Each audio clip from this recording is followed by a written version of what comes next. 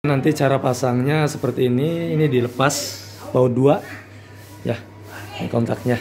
Nanti sudah dibikinin soket dan untuk penyambungannya nanti ke sen ada dua ini.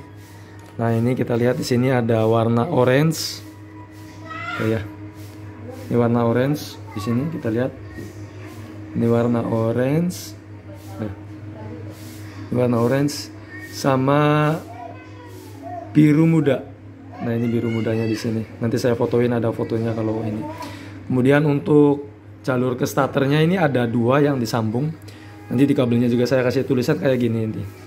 Ini kebetulan ini juga pasang hari ini. Ini ada tulisan kuning garis hijau.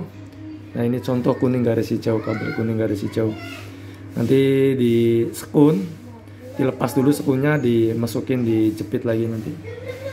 Nah ini kuning garis hijau ini kuning garis hijau. Kemudian ada hijau garis kuning nih. Nah ini hijau garis kuningnya ini. Nah, lihat ya di sini ya. Tuh.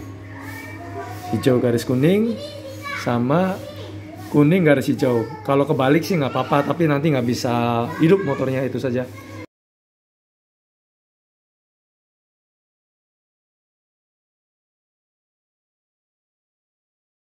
Karena jalur setrumnya beda kalau kebalik juga nggak konslet cuma nggak nyala saja motor. Nanti untuk soket starter dari bawaan motor kayak gini ya. Tuh.